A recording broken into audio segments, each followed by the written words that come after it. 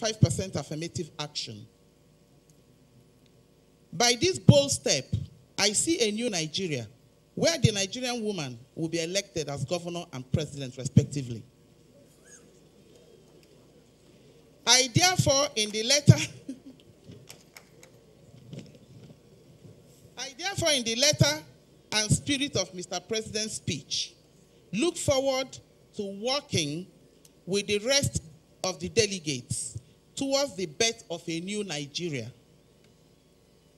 My detailed response to the President's speech will be submitted to the Secretariat. God bless Nigeria. Thank you, Mr. Chairman. Thank you, Madam, for that brief introduction. Oloyede, Professor Is-haq. My Lord, distinguished delegates, I'm Isaac Oloyede. I represent the Nigerian Supreme Council for Islamic Affairs on behalf of Nigerian Muslims. One, on page 13 of Mr. President's speech, he mentioned that we should discuss openly and frankly. I think that is commendable. We therefore want to say that we should listen not only to the words of our leaders and political office holders, we must also read their actions along with it. I'm saying this because there is a possibility of politicians utilizing the fault lines to cause or plunge the country into unnecessary controversies. I believe in a federation like us, like ours, religion, region, ethnicity shouldn't be an issue at all. And they will not be issue if our leaders are just and balanced. The issue of two third, three quarter, we were discussing it in terms of figure without discussing why. They, it became an issue because of perceived and real imbalance. A situation where you have 497, that's part of the problem. Everybody talks about 492. We did not care to count because our leaders, when they tell you something, you better go and look again. Uh, it's 497, despite the fact that we print 492 and we parade it. 184 of these 497, Muslims will complain and they have right to complain that, oh, we are marginalized. But if we are not careful, we will leave the substance and be pursuing the shadow. Because the intention of the political class is to divert us from the real issue. We are talking about people impunity in public office. Let me give an example. The federal government of Nigeria nominates 26 to this conference as federal government nominees. Nine of them are from the South South, three from Southwest, four from Southeast, 16 out of 26. You can go on and go on. We must not just talk, we must walk the talk.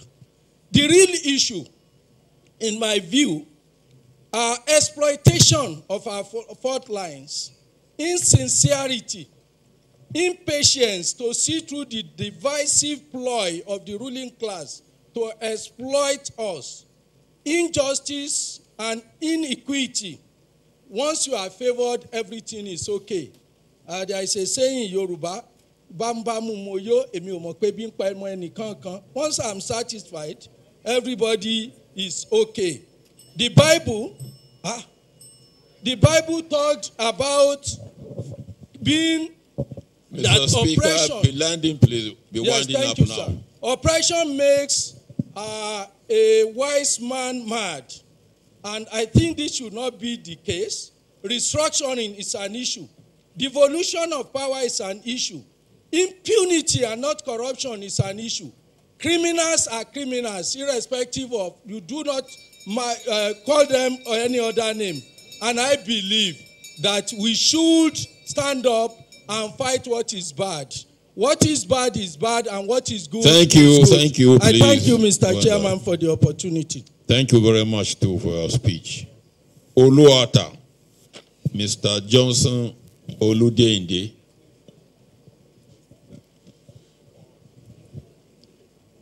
Uh, Mr. Chairman, fellow delegates, my name is Johnson Oludende Oluata. I represent Association of National Accountants of Nigeria under the banner of the Professional Bodies Group. Um, I'd like to go to try and x-ray the president's statement uh, at the date of the inauguration. It is believed generally that the president has been able to provide the compass that will guide the activities of this national conference. We also believe that having been provided with a compass, we should be able to work accordingly, adding values from the various sectors of Nigeria economy.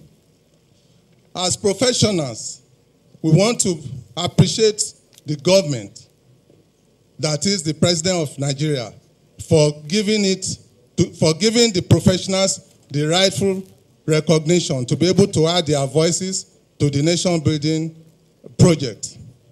Today we are here as professionals because we believe that there's nothing that will happen in this country that will not pass through a professional. Whether you are working as an engineer, accountant, lawyer, medical doctor.